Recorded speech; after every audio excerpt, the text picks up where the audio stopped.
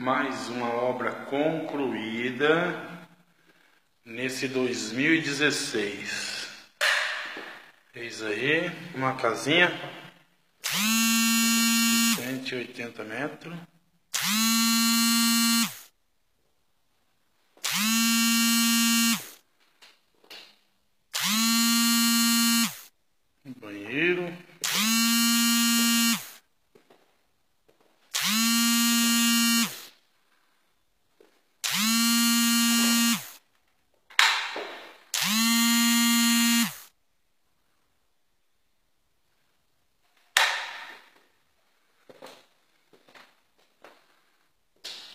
De luz.